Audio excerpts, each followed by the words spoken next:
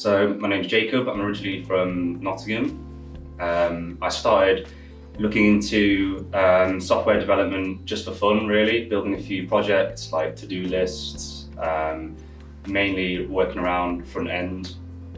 Um, that was just for fun originally.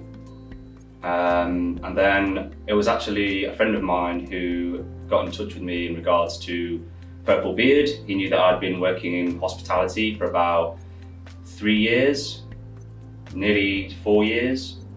Um, and he turned around to me and said, why don't you actually turn your, um, why don't you actually turn your passion into a career? Um, Purple Beard very thankfully Purple Beard approached me and said that I was on, on the course and here I am. Well, originally I, started off with um, doing like a, it was a five day coding challenge. Um, and originally that was just, again, I did that for fun.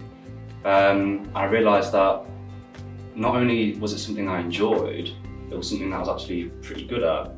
Um, I realised also that Purple Beard was specifically looking for candidates based in East Midlands, and that's where I was living at the time. I was living in Nottingham. And so everything sort of just fell into place um, quite easily. Um, Purple Beard offered me tons of support. Um, there was occasions where some of my tutors were literally on call. You know, I could send someone an email and they'd, they'd reply to me in, you know, half an hour.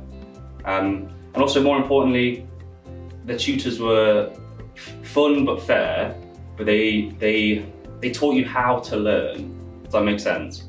Instead of instead of just teaching me what I needed to know, they taught me how to do it myself.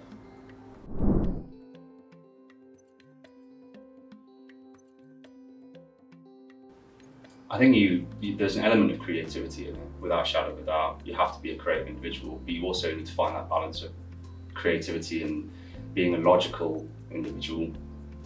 And sometimes it's hard to find that balance, and sometimes it doesn't have to be one or the other. You can integrate the two of them. Well, they directed me to really interesting resources that I didn't even know were available to me. Once upon a time, uh, my only real resource was things like um, Stack Overflow, things like YouTube tutorials. I've got so many books, I sort of fell into that tutorial loophole where I didn't really know where to stop. I didn't know when to finish. Um, you know, I'd, I'd learn 50% of one technology and move on to the next technology. And I think Purple Beard sort of gave me that direction. They actually, they actually developed like a, a structure for me to, to educate myself. So I've just landed um, a level four software development apprenticeship with a company called Recode Medical.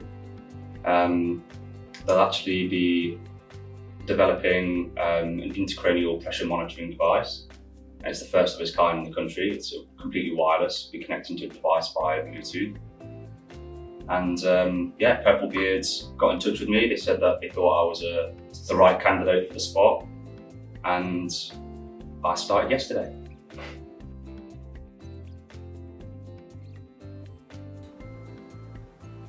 just go for it.